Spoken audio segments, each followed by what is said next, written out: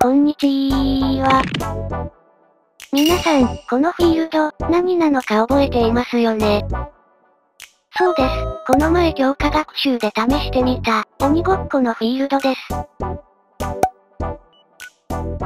前回の鬼ごっこの動画、100万再生を突破し、たくさんコメントもいただきました。ありがとうございます。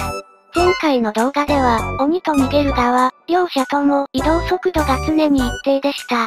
なので、このように単調な追いかけになってしまいましたね。それも原因の一つで、相手の動きを予測した立ち回りはできない状態でした。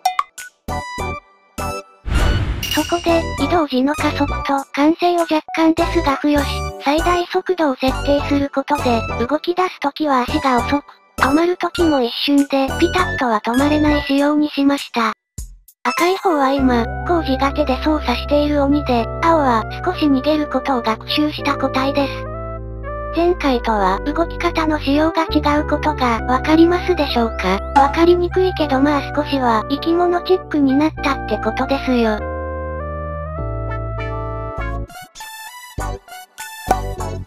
仕様で、とりあえず、もう一度追いかける AI と逃げる AI を同時に学習させてみます。学習の基本的な流れなどは、前回の動画と前々回の動画で説明していますが、今回は少しまた工夫を加えています。一つは、AI が周囲を観測するためのレーザーを上下から発射させました。これで、追いかける対象の向こう側が、壁なのか、何なのか、わかるようになります。そしてもう一つ、学習する際の方法を、カリキュラム学習にしました。今回のカリキュラムは単純で、学習の進捗に応じて、ステージの広さを大きくしていくだけです。最初は小さい方が、お互いの接触回数が増え、学習の効率が上がると思います。それと、今後他の条件などを追加した時に効果を発揮しそうなので、今のうちにプログラムを作っておいた感じです。棒読みちゃん T シャツ、パーカーできました。あと工事キーホルダーもあるよ。そういう感じで、ある程度学習させました。学習中盤まではご覧の通り、鬼がタッチ成功することが多いのですが、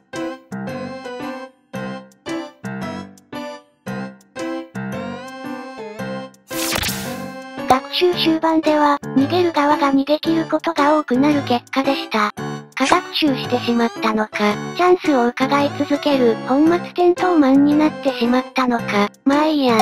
ちなみに、この学習の報酬曲線はこんな感じです。12万ステップ学習したところで、ステージの大きさが最大になります。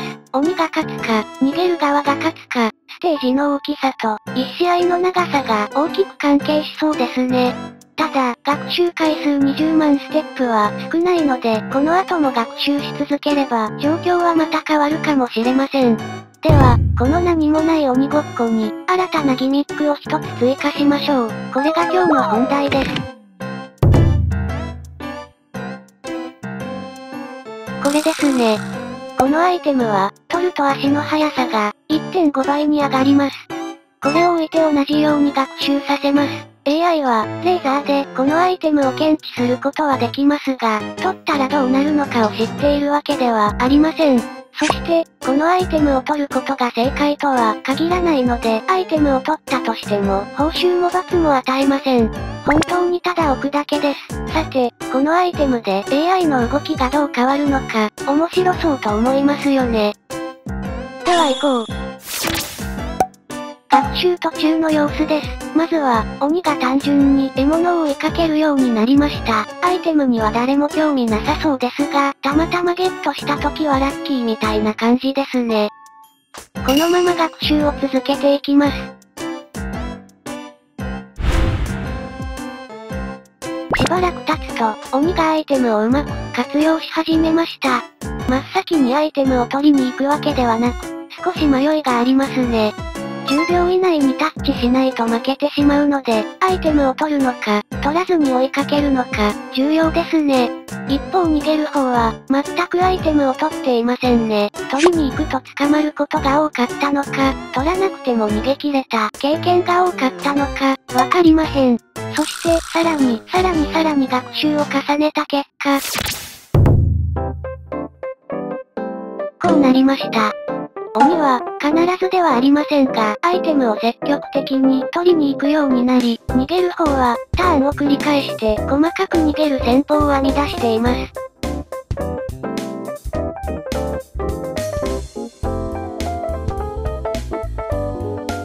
これ、めちゃくちゃ面白いですね。相手がブレーキで減速することをうまく利用している人間のような逃げ方ですよね。まあ結局、ほぼ鬼に捕まってはしまいますが、アイテム一つで、鬼も逃げる側もめちゃくちゃ優秀になりました。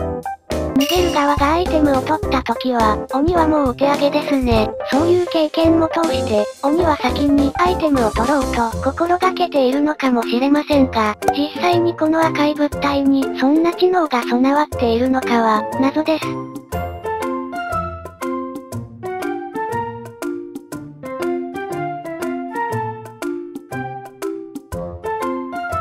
テムを複数置いてみると、鬼が全部取って無双することが多かったです。前回とは違って、鬼が勝てるようになって、ちょっと嬉しいです。さて、次はどんなギミックを追加しようかな